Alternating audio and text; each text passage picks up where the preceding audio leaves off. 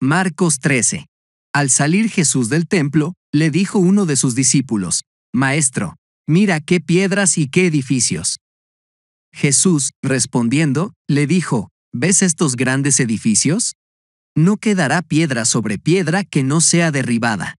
Y se sentó en el monte de los olivos, frente al templo. Entonces Pedro, Jacobo, Juan y Andrés le preguntaron aparte, Dinos, ¿cuándo serán estas cosas? ¿Y qué señal habrá cuando todas estas cosas hayan de cumplirse?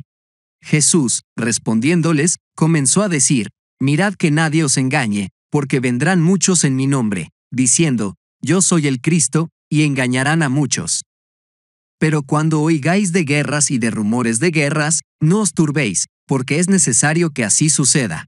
Pero aún no es el fin, pues se levantará nación contra nación y reino contra reino, y habrá terremotos en muchos lugares, y habrá hambres y alborotos. Principios de dolores son estos. Pero cuidad de vosotros mismos, porque os entregarán a los concilios, y en las sinagogas os azotarán. Y delante de gobernadores y de reyes os llevarán por causa de mí, para testimonio a ellos. Y es necesario que el Evangelio sea predicado antes a todas las naciones. Pero cuando os lleven para entregaros, no os preocupéis por lo que habéis de decir, ni lo penséis, sino lo que os sea dado en aquella hora.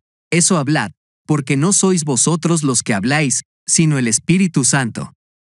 El hermano entregará a la muerte al hermano, y el padre al hijo, y se levantarán los hijos contra los padres, y los matarán. Y seréis odiados por todos por causa de mi nombre, pero el que persevere hasta el fin, éste será salvo. Pero cuando veáis la abominación desoladora de que habló el profeta Daniel, puesta donde no debe estar, el que lee, entienda, entonces los que estén en Judea huyan a los montes. El que esté en la azotea, no descienda a la casa ni entre para tomar algo de su casa, y el que esté en el campo, no vuelva atrás a tomar su capa. Hay de las que estén en cinta y de las que críen en aquellos días.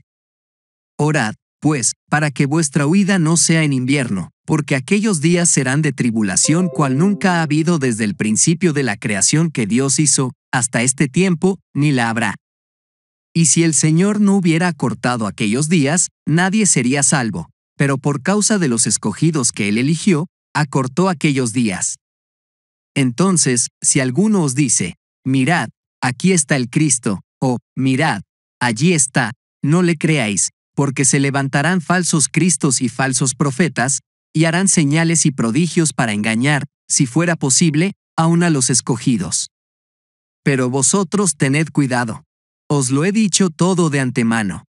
Pero en aquellos días, después de aquella tribulación, el sol se oscurecerá y la luna no dará su resplandor.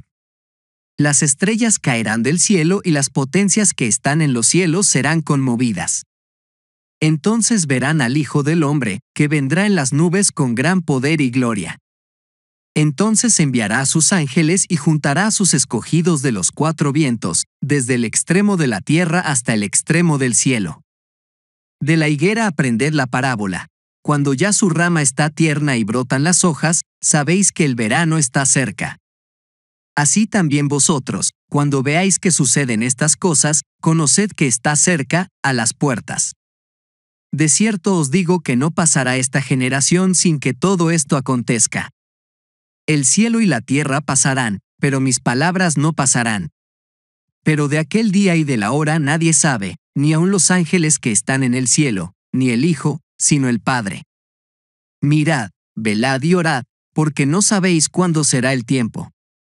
Es como el hombre que, yéndose lejos, dejó su casa, dio autoridad a sus siervos, a cada uno le dio un trabajo y al portero mandó que velara. Velad, pues, porque no sabéis cuándo vendrá el Señor de la casa, si al anochecer, a la medianoche, al canto del gallo o a la mañana, para que cuando venga de repente, no os halle durmiendo. Y lo que a vosotros digo, a todos lo digo, velad,